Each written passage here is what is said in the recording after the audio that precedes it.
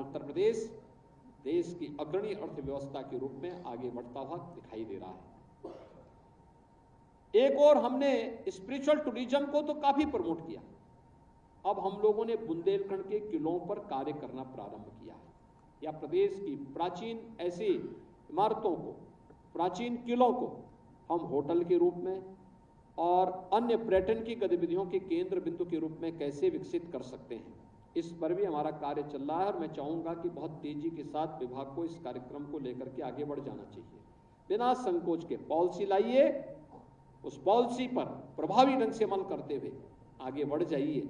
मुझे लगता है देश और दुनिया यहाँ की तरफ़ देख रही है, आना चाहती है, उसको आकर्षित करने की तैयारी हमें करनी चाहिए।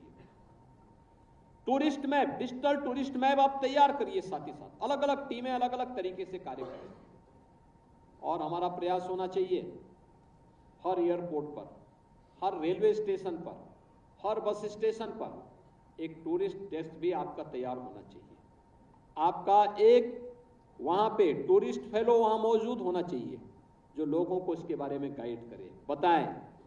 हर प्रकार की सेवा के बारे में वहाँ बताएँ। वहाँ के टूरिस्ट के महत्वपूर्ण स्पॉट कौन से हैं? कहाँ कहाँ लोगों को जाना है? इनके बारे में बताएँ। रहने की व्यवस्था क्या है? खाने की व्यवस्था क्या है?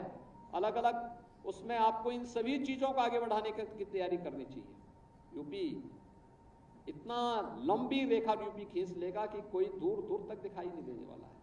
उसकी तैयारी के लिए हमें आगे बढ़ने बढ़ने की आवश्यकता है और मजबूती के साथ आगे बढ़ने की आवश्यकता है।